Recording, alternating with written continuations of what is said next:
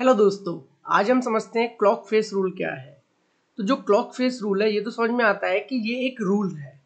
But बात आती है क्लॉक फेस रूल हमें पढ़ना ही क्यों है? यानी कि कोई डाउट रहा होगा, कोई प्रॉब्लम आई होगी, तब इस रूल को बनाया गया होगा, जिससे कि जाना गया क्लॉक फेस रूल के नाम से। तो पहले हम यही समझेंगे कि किस प्रॉब्लम के लिए इसको बनाया गया। देखो डाउट कहाँ आया या प्रॉब्लम कहाँ आई? एक्चुअली हम लोगों ने क्या पढ़ा था कि जब भी कहीं से करंट फ्लो करता है तो उसके आसपास एक मैग्नेटिक फ़ील्ड प्रोड्यूस होता है। आपको याद था? तो प्रॉब्लम आई जब एक सर्कुलर कॉयल ली गई। जो सर्कुलर वायर लिया गया तो उस सर्कुलर वायर के अंदर जब करंट फ्लो किया तो वहाँ पे मैग्नेटिक फ़ील्ड आया था। यानी कि अगर आपको याद हो, इस तरीके से हमने एक सर्कुलर वायर लिया था। तो सर्कुलर वायर के अंदर जब हमने करंट फ्लो कराया, ये एक सर्कुलर वायर ले लिया सपोज़ करो इस तरीके से मैंने, ठीक है? ये सर्कुलर वायर ले लिया। जब इसमें मैंने आई करंट फ्लो कराया तो इसमें एक मैग्नेटिक फ़ील्ड प्रोड्यूस हुआ। तो डाउट क्या हुआ कि मैग्नेटिक फ़ील्ड जब प्रोड्यूस होता है, इसका मतलब क्या है? कि मैग्नेटिक फ़ील्ड नॉर्थ से निकलता है साउथ में एंटर होता है। बट यहाँ पे तो एक सिंगल वायर है। जो आपका ये वायर है, वो सिंगल है। तो मैग्नेटिक फ़ील्ड का नॉर्थ कौन सा और साउथ कौन सा? बात समझ में आई? क्या प्रॉब्लम है? क्या डाउट है? ये डाउट आया कि एक सर्कुलर वायर में करंट फ्लो कर रहा है। अब इसका नॉर्थ का रखू साउथ का रखू, क्योंकि मैग्नेटिक फ़ील्ड है। तो नॉर्थ भी होगा साउथ भी होगा, हमने पढ़ा था मोनोपोल तो एग्जिस्ट ही नहीं करते। यानी ऐसा नहीं हो सकता सिर्फ़ नॉर्थ पोल हो नॉर्थ पोल हो साउथ ना हो साउथ हो नॉर्थ ना हो।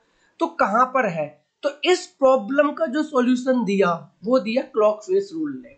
तो पहली बात समझ आ गई क्लॉक फेस रूल हम क्यों पढ़ रहे हैं? क्योंकि हमें एक डाउट एक प्रॉब्लम है उसको सॉल्व करने के लिए। अब इसने किस तरीके से सॉल्व किया, वो समझते हैं। तो पहले देखो क्या लिखा हुआ है कि it is a concept use to determine the polarity of a circular wire carrying current. यानी कि ये यूज़ होता है सर्कुलर वायर की पोलरिटी पता करने के लिए। भाई, हमने बोला अभी, ठीक है?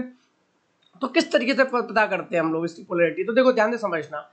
जो आपका, जो ये वायर है, इसमें डिपेंड करता है ऑब्जर्वर कहाँ से देख रहा है। सपोज़ करो, आप देख रहे हो। मैं आपकी तरफ़ से देखने की कोशिश करता हूँ उस वायर को। एक वायर है, ठीक है? अब इस वायर को मान लेते हो, हमने बनाया था। इसमें करंट फ्लो कर रहा है। तो जो वायर है अब फोकस किस करना है ऑब्जर्वर पे। ऑब्जर्वर मान लो आप हो। तो आपको ये करंट कैसे दिखाई दे रहा है? आपको ये करंट दिखाई दे रहा है कि क्लॉकवाइज जा रहा है। कैसा करंट दिखाई दे रहा है? वो कैसे जा रहा है? क्लॉकवाइज जा रहा है। तो जब भी इस तरीके से करंट जा रहा हो तो क्या करो? जो फेस आपकी तरफ़ देखो, हर चीज़ के दो फेस होंगे, जैसे अगर मैं समझाने की कोशिश करूँ कि जैसे ये है। ठीक है? एक फेस हो गया जो मैं देख पा रहा हूँ, ये वाला, जो आप नहीं देख पा रहे। एक फेस हो गया ये वाला। तो दो फेस तो होते हैं, ये तो बात क्लियर है, क्योंकि एक सर्कुलर कॉयल वायर है तो एक फेस तो हो गया जो मैं देख पा रहा हूँ उधर से। एक फ़ेज़ हो गया जो आप पीछे से देख पा रहे हो। जैसे अगर मैं इसको मान लू सर्कुलर कॉयल वायर तो ये वाला फेस आप नहीं देख पा रहे, मैं देख पा रहा हूँ, और ये वाला फेस मैं नहीं देख पा रहा, लेकिन आप देख पा रहे हो। ठीक है, दो फेस होते हैं। अब इसमें यही एक फेस नॉर्थ पोल होता है ये एक फेस साउथ पोल होता है। तो पहला प्रॉब्लम तो क्लियर हो गया कि ये नॉर्थ और साउथ कहाँ पर है। हमें ये पता चल गया कि जो सर्कुलर कॉयल वायर है, इसका एक फेस जो ऑब्जर्वर देख रहा है और जो इधर वाला पीछे वाला फेस है, इनमें से एक साउथ एक नॉर्थ है। बस अब बात ये रह गई कि कौन सा साउथ ले, कौन सा नॉर्थ ले, वो समझना है, ठीक है? अगर ऑब्जर्वर जो ऑब्जर्वर है आपका तो ऑब्जर्वर जब सर्कुलर वायर को देख रहा है और ऑब्जर्वर का जो वो है करंट है, वो क्लॉकवाइज है तो इस तरीके से डिज़ाइन बना दो। इस तरीके से एक डिज़ाइन बना देंगे।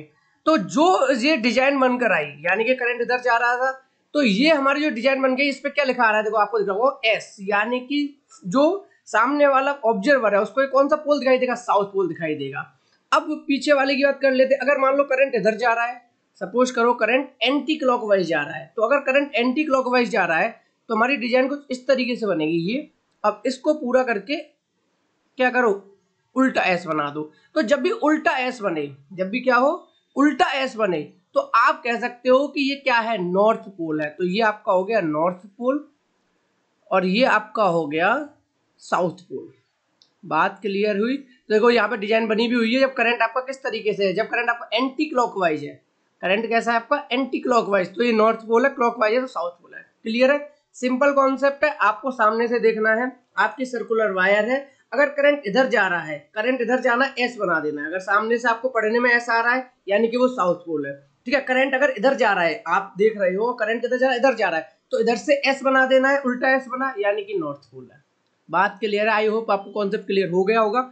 अगर डाउट रह गया हो तो आप मुझे कमेंट सेक्शन में कमेंट करके बता सकते हैं। ठीक है? Thank you so much